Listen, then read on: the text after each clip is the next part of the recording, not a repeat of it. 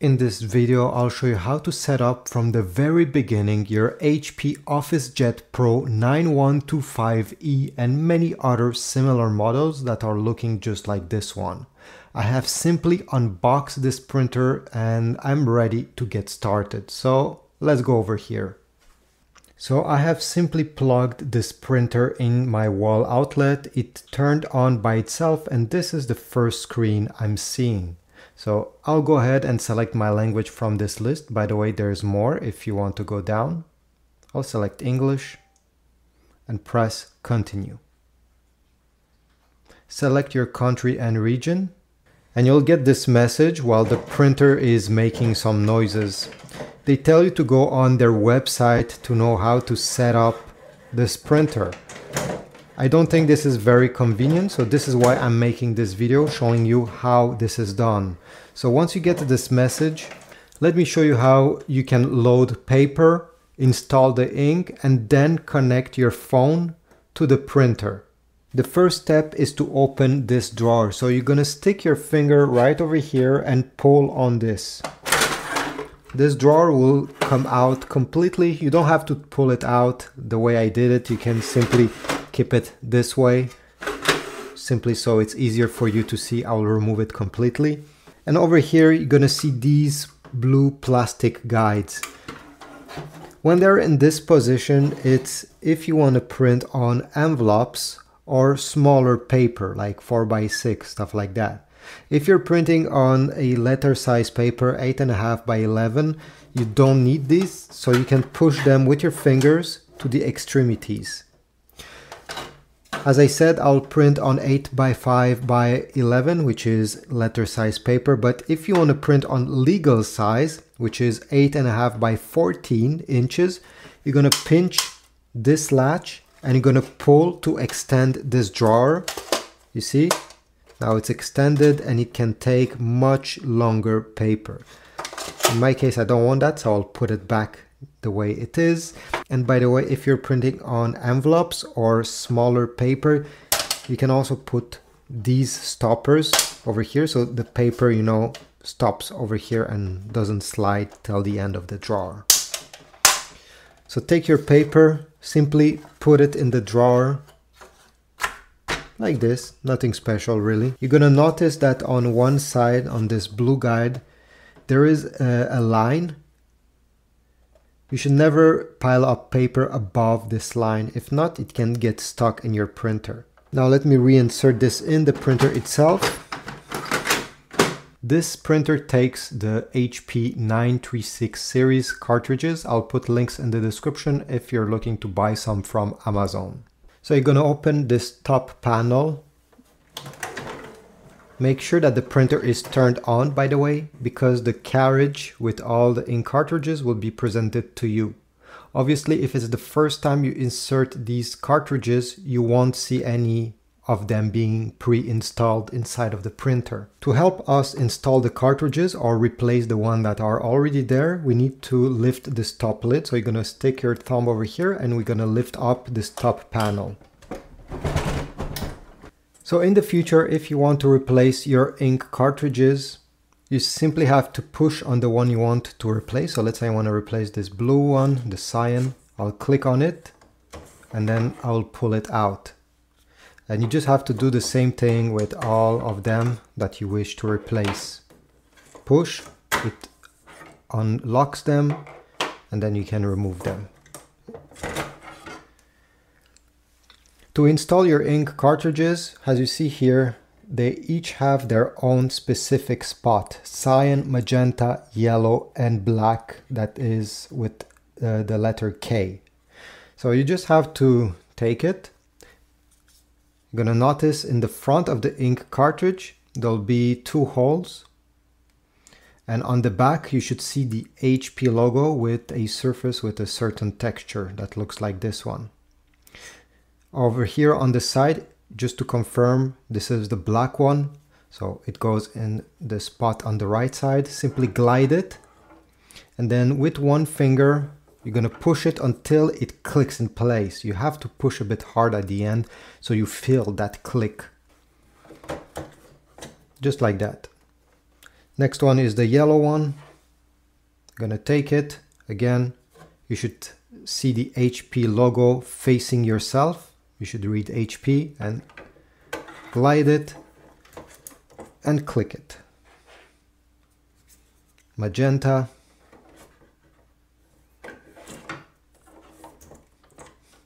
And finally the cyan.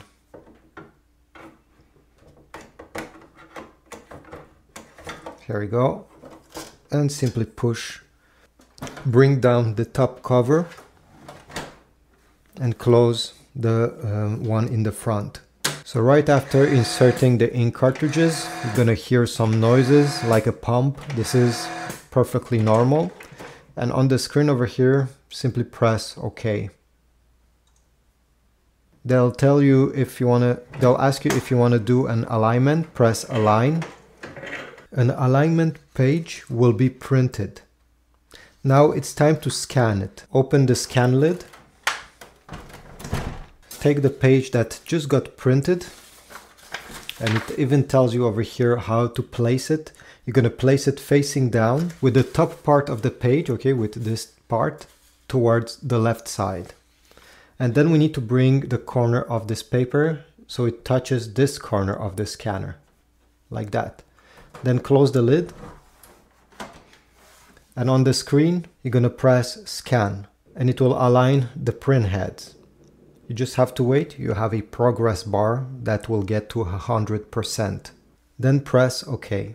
You can click on the question mark on the top right corner once, go down and select exit.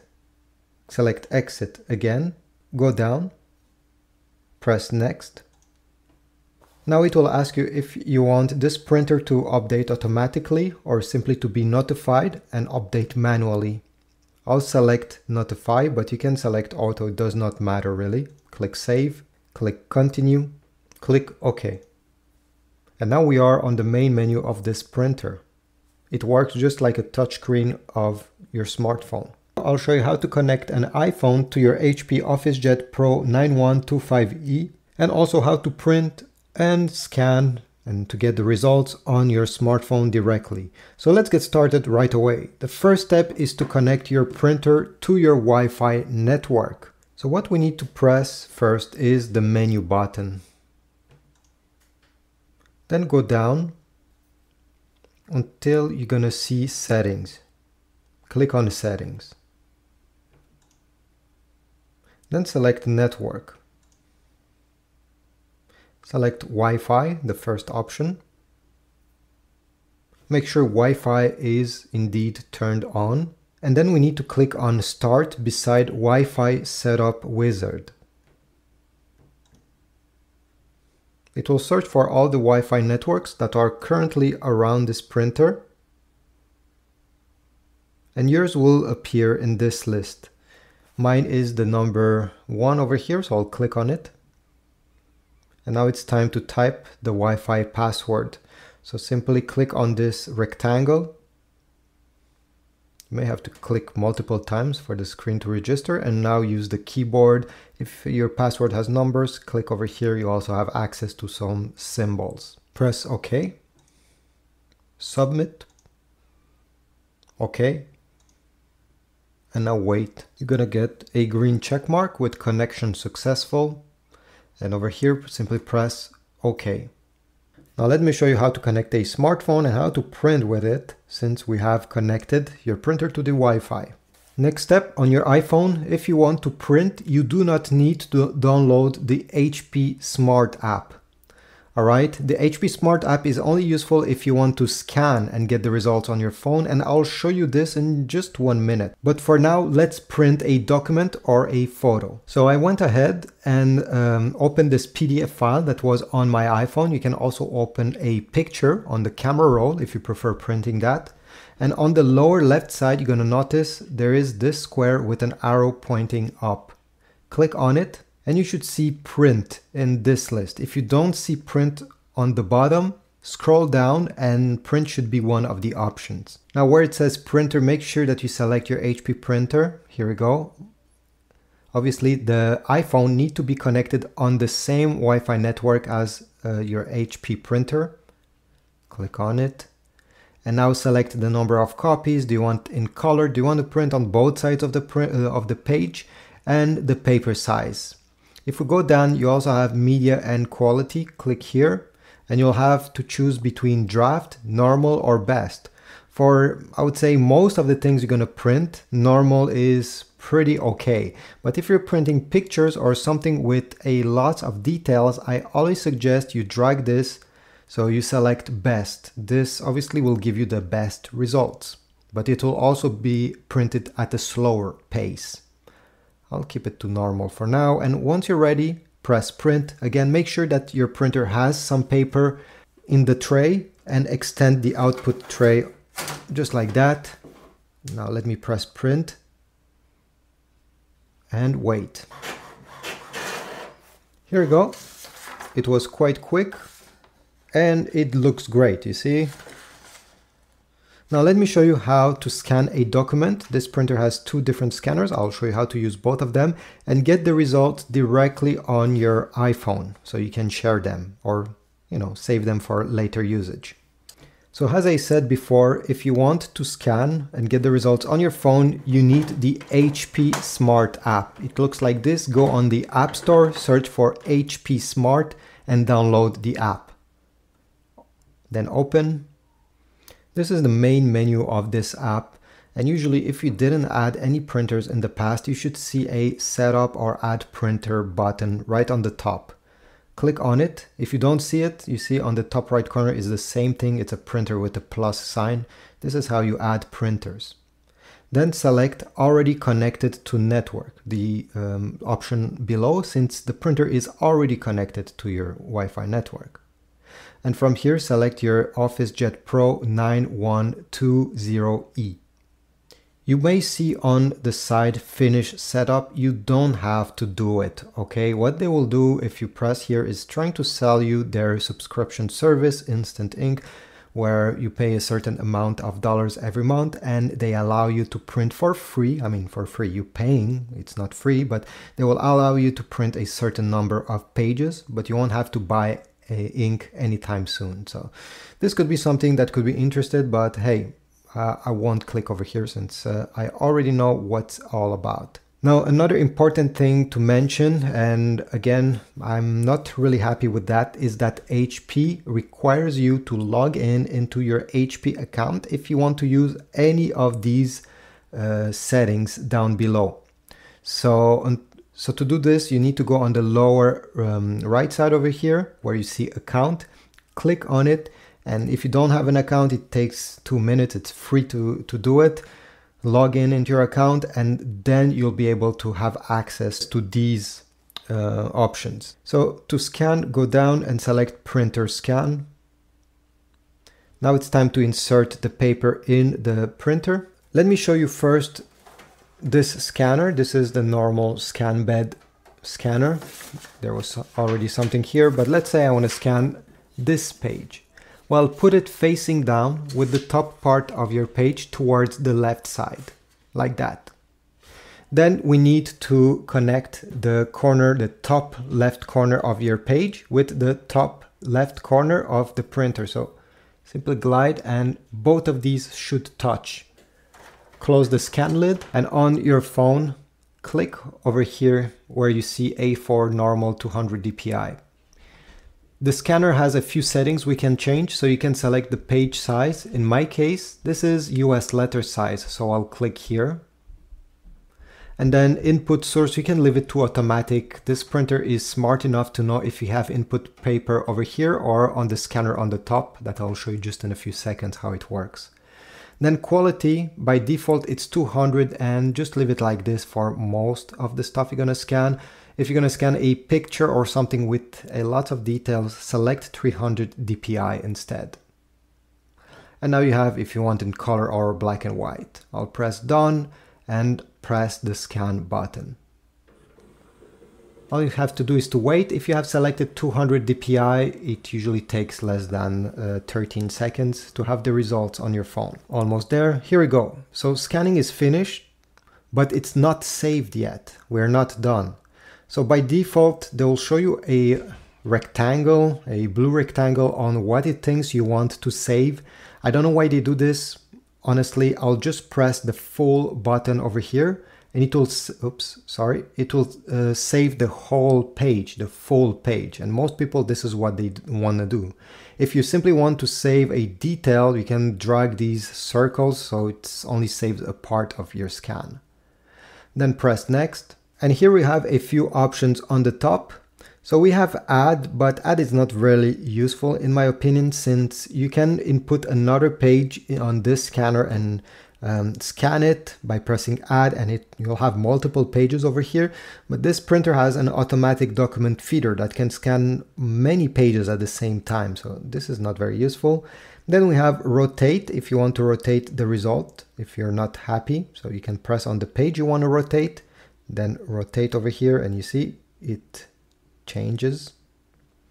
I'll press cancel you have text extract if you want to extract text from your PDF file. So if I want to copy paste this, I can press um, text extract.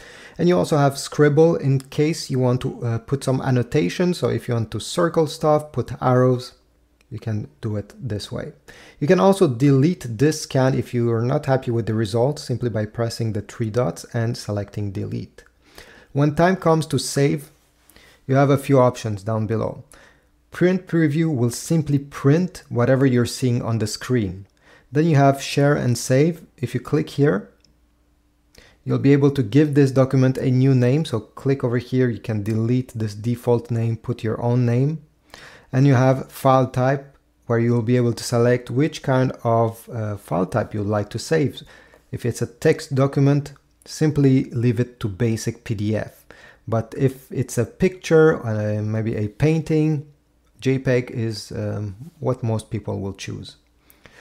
At the end, press continue. And from here, you'll be able to share it on social media with your contacts, on certain apps. You can scroll.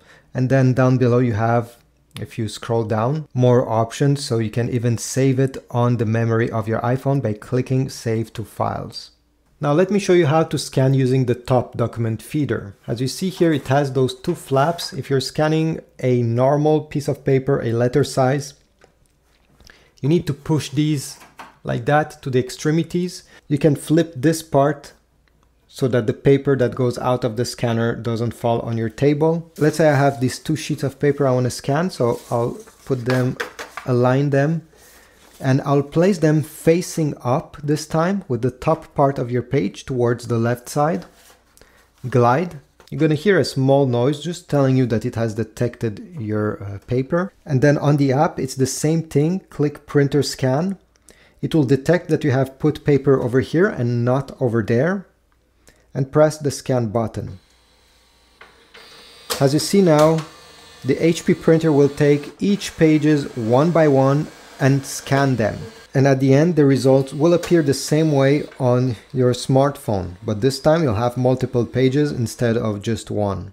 You can scroll left and right to see all the pages that have been scanned. And again, you can save them and um, edit them the same way I showed you previously. So thanks for watching. If you found this video helpful, leave a comment, subscribe, like, but also check my Amazon affiliate links down below if you want to get some ink for your printer, some paper, or even a brand new unit.